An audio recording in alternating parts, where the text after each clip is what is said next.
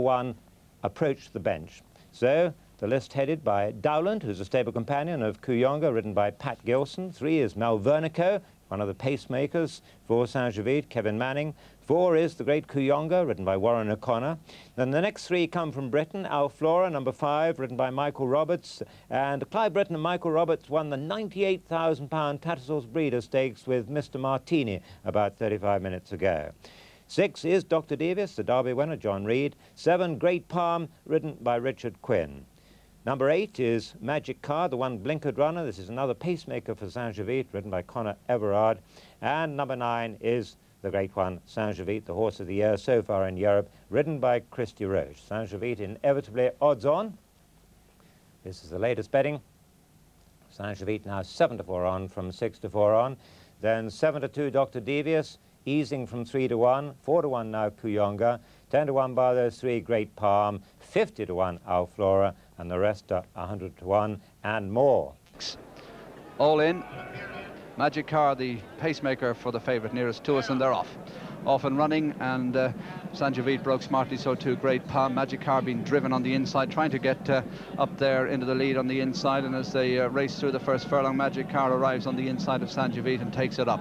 Malvernico out wide, Great Palm close up, and then Dowland with Kooyonga on the inside. Dr. Devious last but one on the back marker is Alflora as they complete the first quarter mile, and Magic Car in the lead by three parts of a length from Saint-Jovite, the same margin to Great Palm in the green colours in third.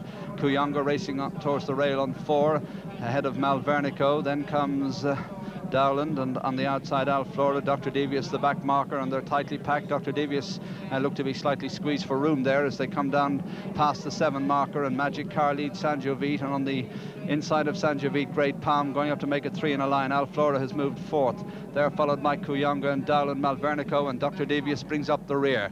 Racing now towards the five furlong marker, we've a new leader, Great Palm, by a neck from Saint-Jovite, followed in third by Alflora. Behind Alflora is Kooyonga. Dowland is next, then Malvernico, Dr. Devious in Magic Car, unable to, to, do the job any longer, drops right away to the tail of the field at the half mile pole. Great Palm has the lead. Saint-Jovite is second. Alflora is going well in third. Kooyonga is four.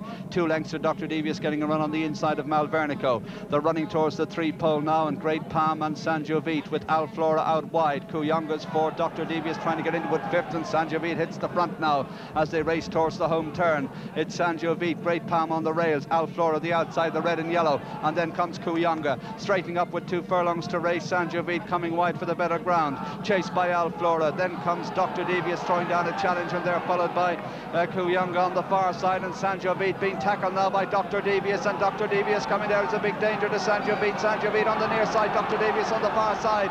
The Derby winners locked together. Saint-Jovite on the stand side. Dr. Devious the far side is going to be close. Saint-Jovite by a neck from Dr. Devious. Flat out there, clear.